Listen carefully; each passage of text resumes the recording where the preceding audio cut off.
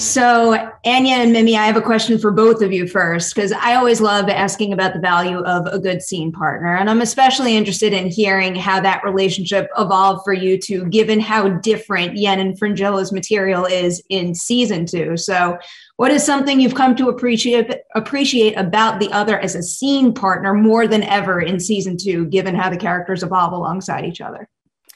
I learned so much from you, Mimi uh, yes, as Yennefer, but me like as Anya as well. I think you're an amazing. Um, I think you're amazing.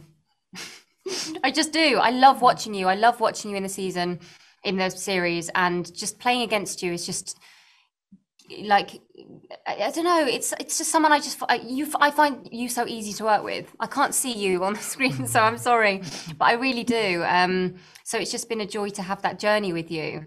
Um, as Yennefer, uh, same thing. I think she learns a lot from Fringilla.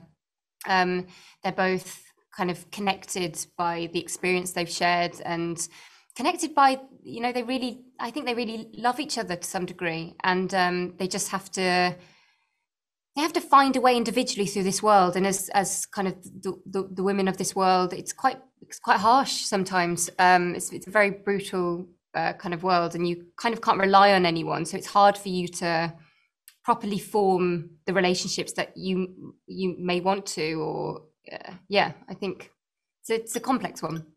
Mm, the feeling is so mutual like i love working with anya um, and it's the detail like anya as an actress is very detailed and um, you can do a take and it can you'll watch it as her scene partner and be like oh my god that was incredible and then she'll be like, oh, I think I missed something. What do you think this means? Or what do you think? Did it? And then she'll give you another take that is just equally as incredible.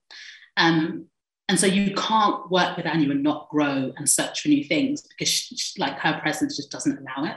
Um, so I love that about her. And in terms of Fringilla and Yennefer's dynamic, Fringilla learns a lot from Yennefer, but I think it kills her to show Yen that. So when they're together, you'll get this kind of you're not affecting me and then when they're apart you see just yen influencing decisions and choices yeah. um, and I, I love that about their relationship i think she kind of looks up to her in some way i honestly do I'm going to put the spoiler warning up because Joey, I feel like I can't ask you any questions unless I'm potentially spoiling something. And this gets into some details here. I think this is very well covered and clearly conveyed in the show. But when I'm moved by something, I tend to get greedy and want to know more about it. So, was there any additional backstory work that you needed to do on your own to really determine why Jaskier became the sandpiper? And maybe more specifically, where he found the faith in himself that he was capable to do that? Wonderful question. Thank you.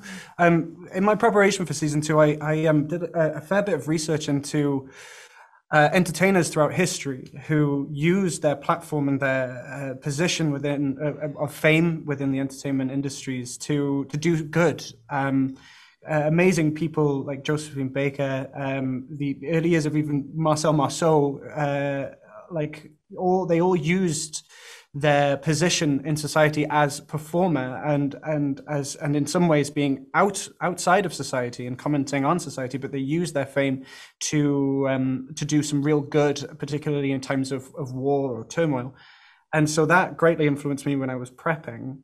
Uh, and to answer the second part of your question, I think uh, uh, you know the best artists in the world always respond to the world around them, and um, and want to adapt and become part of that movement. And so, if the world is becoming darker, becoming grittier, then I think um, the artists sometimes do that, or sometimes they push against that. And throughout season two, we get to explore, we get to see Jaskier exploring that, whether he, he wants to kind of accept that this is a horrible, horrible place to live, or fight against it and try and find the optimism and the light uh, in himself and in everyone around him. So that sort of dichotomy is something that I uh, really enjoyed, kind of walking that tightrope walk on, really. All right, Mimi, I'm coming your way with a spoiler question now because you know, I would say Fringilla had a fairly one track mind in like the future material in season one, but it's like a real wealth of, of nuance and layers for you this time around. So, was there any particular new element or side of the character that felt re- especially rewarding for you to tap into that you're excited to share with fans?